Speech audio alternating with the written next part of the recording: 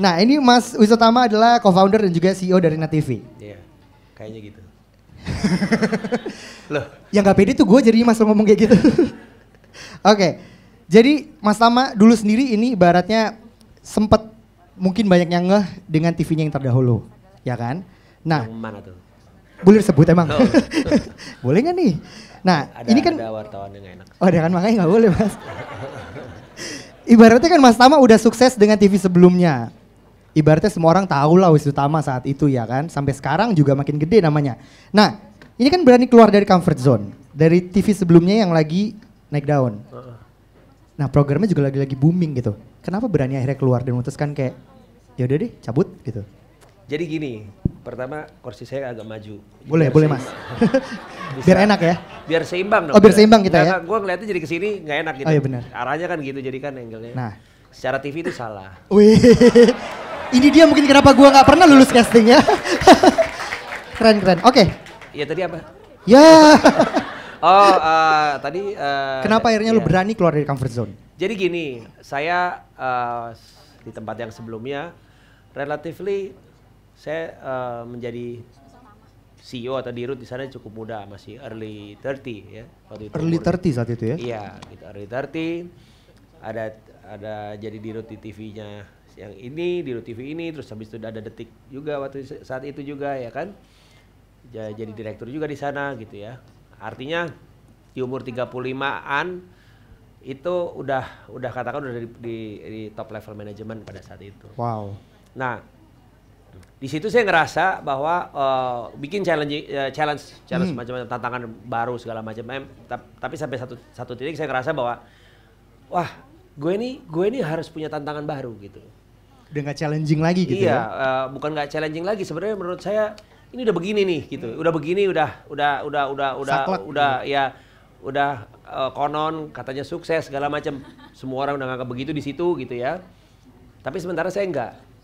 Ya, saya harus merasa saya selalu berusaha untuk merasa tidak sukses gitu Hmm. kan. Dan saya pikir wah satu titik saya gue kalau nggak kalau gue berada dalam posisi yang nyaman begini kan nyaman ya istilahnya nyaman established gitu gue jadi tidak inovatif gue gue jadi nggak kreatif lagi gitu loh jadi pada satu titik saya memberanikan diri untuk resign dan belum tahu mau ngapain Oh ya? kok lu Wow. kaget Ih kaget lah. Berani amat ya? gue aja nggak kaget Wih. Iya mantan bos, duitnya udah banyak ya. enggak juga iya kan? Iya kan?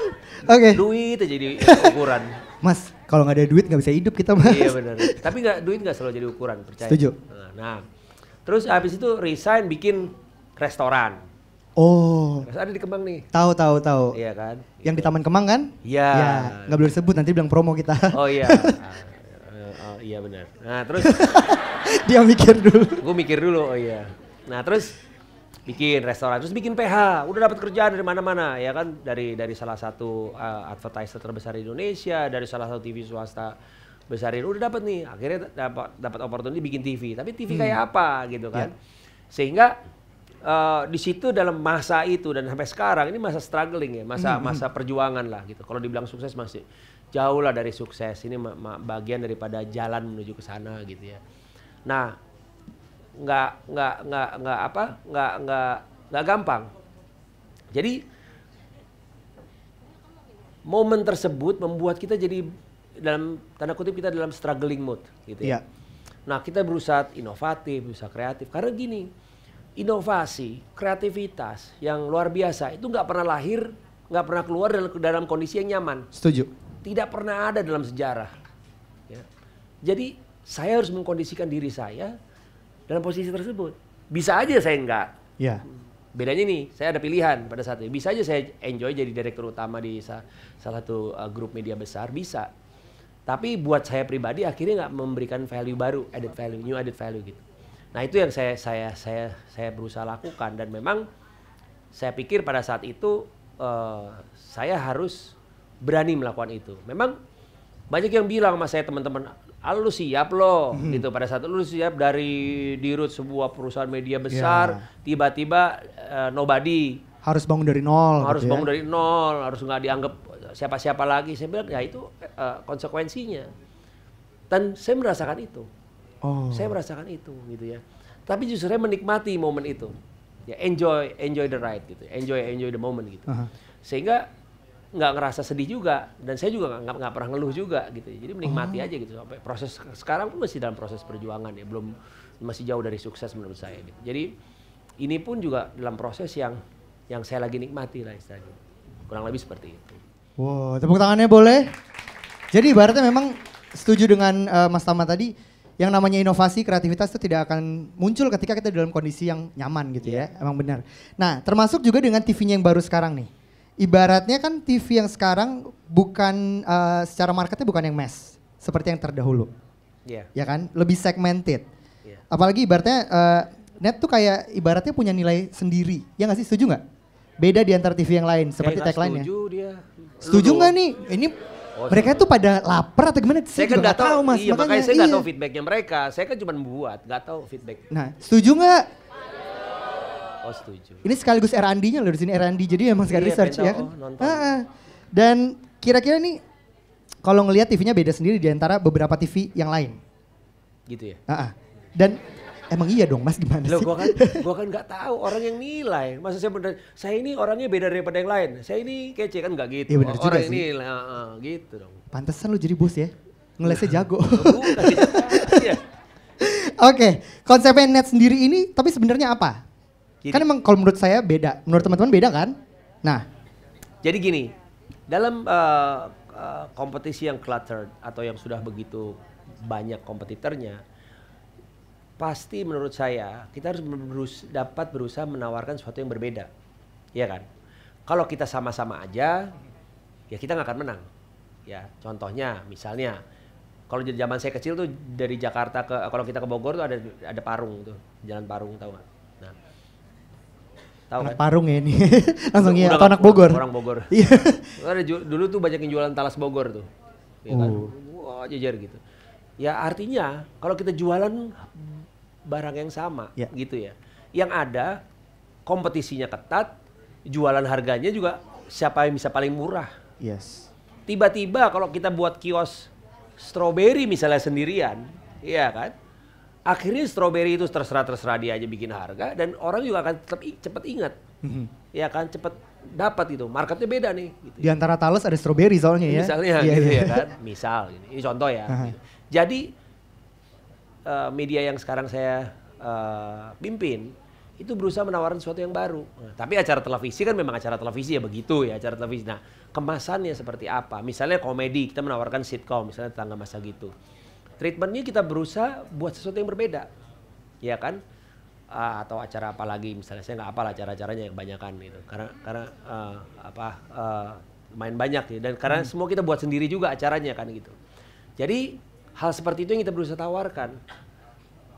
Berusaha menawarkan new value proposition to the audience atau penonton digital. Ah. Hmm, pada saat itu gitu. Pada saat sekarang ini. Nah itu yang kita berusaha perjuangkan. Dan memang nggak mudah dan saya juga percaya bahwa konten kita itu punya potensi untuk membesar gitu karena kaum millennials yang kita target kaum katakanlah kaum middle up yang kita target Aha. itu juga akan membesar selera akan menular pasti kan selera akan menular misalnya contoh dulu pada saat saya di TV sebelumnya membuat sebuah acara judulnya boleh judulnya boleh Boleh, acara boleh, boleh. extravaganza misalnya gitu. Iya. Pada saat itu tidak ada komedi scripted Setuju. sebelumnya, ya kan komedi either slapstick, ya kan eh, situasional begitu atau atau atau eh, film komedi begitu. Aha. Menawarkan sesuatu yang baru pada saat itu, ya sketsa. Pada saat awalnya struggle, ini saya dianggap gila sama sama kru sendiri aja dianggap bing, dia, dia pada bingung, gila ya? pada, pada iya, dianggap, dianggap gila saya gitu. Ini apa sih maksudnya? Pemainnya aja nggak nggak kebayang, ini maksudnya apa Oh. konsepnya gitu ya tem- tim yang awal pada saat itu. Tapi pelan-pelan berusaha kita perbaiki, perbaiki, akhirnya menjadi sesuatu dan bisa menjadi besar. Jadi bukannya berarti kita eh, menargetkan market yang kecil. Selera ini kan nular, ya kan? Selera ini mem- membesar pasti. Nah itu kita harapkan nanti juga demikian.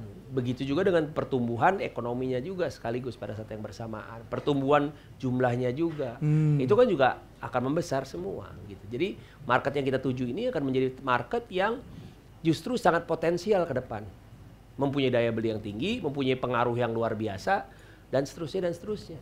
Gitu. Oke, ibaratnya visioner gitu ya. Jadi emang depannya ke depan. Mungkin Ya, sekarang belum sebanyak itu gitu Iya, ya. a- belum banyak juga enggak juga sebenarnya. Mhm. Orang banyak yang bilang eh, pernah saya di, di challenge sama orang Aha. gitu ya. Target market tuh berapa sih di Indonesia? 25 persen, 30 persen. Aha. Kecil dong, kenapa sih 30 persen? Nah, nggak takut rugi gitu kan pasti. Oh, apa Ah. takut rugi? Eh sebentar bos, saya bilang gitu. Ada tahu nggak 30 persen penduduk Indonesia udah berapa kali penduduk Malaysia? Eh bener juga ya. Udah berapa udah berapa eh, lebih besar dari penduduk Australia? Jangan salah, walaupun kecil tapi itu potensial loh. Jangan salah. Ah. Lebih educated, lebih segala macam. Itu potensial dan itu ma- m- bisa menjadi masa depan Indonesia nantinya. Jadi jangan melihat sekarang, Iya. today. Tapi kan ini uh, uh, waktu berjalan, ada pertumbuhan, nggak mungkin nggak kan segala sesuatu itu. Jadi menargetkan sesuatu yang yang ke depan juga. Kalau kita nargetin yang masa lalu, ya tinggal di masa lalu aja, Iya. gitu kan? Gitu. Setuju. Ini kan dulunya main gundu ya lo kecilnya ya. Mm-mm. Sekarang udah main handphone kan. Nah, iya bener itu juga maksudnya. sih. Ingat nggak dulu Iya iya iya. restoran contoh ya dulu Ah. restoran-restoran fancy kayak beberapa tempat yang kita lihat di Kemang dan Aha. lain sebagainya. Zaman 10 20 tahun yang lalu belum ada restoran kayak begitu kan. Iya. Istilah dikit Satu lah. dua lah. Satu dua ada. Itu menular tren itu. Iya kan? Semua menular gaya hidup seperti itu. Oh, seleranya mulai meningkat. Orang Indonesia selera meningkat. Saya kecil, nggak ada sushi. Ya benar. nggak ada sushi. Makan sushi itu, idih, sushi apa nih? Makan mentah gitu. Sekarang kan anak kecil kalian semua makan sushi biasa-biasa aja. Kenapa lo gitu? Ya kan? Iya iya benar. aneh banget loh kalau nggak ngerti sushi. Iya kan? Iya, iya. Saya waktu Kayak katro gitu ya? Iya kayak Iya, katro. Gue sampai SMA aja nggak pernah makan sushi. Karena nggak ada di zaman zaman waktu itu bukan sesuatu yang tren. Ada mungkin di somewhere yang khusus ya, tapi bukan sesuatu yang populer. Makan mentah tuh sesuatu yang eh, nah apa yang aneh gitu. Hmm. Tapi berkembangnya zaman itu membuat selera orang justru makin meningkat pasti. Begitu juga dengan selera entertainment pasti nggak mungkin enggak gitu. Setuju apalagi dengan sosial media gitu ya. Sebenarnya Apalagi bisa digital. menularkan banyak Lebih hal-hal dan lifestyle lebih lainnya ya. cepat, iya. Oke. Itu yang benar sih. Karena mungkin dulunya eh, ya ibaratnya kan kita juga nggak pernah tahu seperti yang Mas Tama bilang. Sushi akhirnya dulunya hal yang dianggap jarang malah akhirnya jadi biasa. Iya. Ya kan? Walaupun lo masih pisang goreng sama kopi ya. lo ngantuk lo gimana nih? melek, melek, melek. Oke. Nah, tapi kalau ngomongin konten, konten net ini bisa dibilang kreatif dan juga beda. Inspirasinya Mas Tama tuh dari mana sih dan gimana caranya untuk bisa tetap kreatif tuh? Ya kayak tadi aja, Gimana? artinya pada saat semua orang bikin ini, saya berusaha bikin yang beda, Mhm. ya kan? Atau berusaha menawarkan atau membuat suatu kualitas program yang lebih baik. Buatnya emang pasti lebih sulit, ya. Tetapi nggak ada pilihan buat saya. Kalau saya menawarkan satu hal yang sama lagi, sama lagi ya tadi Mhm. ibarat Talas Bogor itu, ya nggak, you nggak akan laku, lu nggak akan dianggap orang. Tapi Gitu. cara membuat eh, diri tetap kreatif tuh gimana mas? Karena kan ibaratnya kan ya susah ya kalau misalnya kita lagi nulis pun ibaratnya ada namanya writer's block. Mm-mm. Nah kalau seorang Mas Tama sendiri ketika buntu nih kreativitasnya, apa yang biasa dilakukan? ya gini, kreativitas balik ke pertanyaan awal Hmm. nih sebenarnya. Kreativitas itu akan timbul pada saat kita dalam kondisi yang Tidak tertentu. nyaman, ya. Eh, tidak nyaman, eh, eh, eh, bukan sesuatu yang yang merasa enak, Hmm. merasa puas gitu ya. Dan itu saya rasa eh, eh, metode yang tepat gitu ya. Hmm. Karena kalau mau namanya kreativitas mau dipaksakan nggak akan keluar juga. Aduh, gue harus kreatif nih, harus kreatif nih. Sampai kapan juga bakal begitu. Atau saya jadi bos itu bentak-bentak anak buahnya gitu katakan, ayo, ayo kreatif. Hah, gitu paling. Ya, kreatif- Kagetnya enak banget tuh. kan bos gue kenapa nah tapi tapi uh, uh, uh, harus ada kondisi tertentu yang membuat kita dalam kondisi itu tadi balik lagi pertanyaan pertama nih, Mhm. jawab pertanyaan pertama nggak bisa nggak gitu nah yang kedua memang kita harus uh, uh, uh, uh, persistence dalam Oke. membuat sesuatu konsisten dan persisten. Persisten dan konsisten ya. Jadi ya terus coba, terus coba. Nggak mungkin langsung berhasil. Nggak ada yang langsung berhasil sesuatu itu. Iya. Ya kan? Coba ya, gagal, coba lebih baik lagi. Gagal, coba lagi, coba lagi.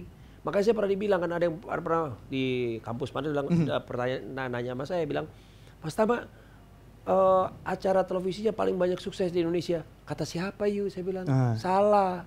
Acara televisi yang paling gagal yang eh, saya buat tuh paling banyak di Indonesia.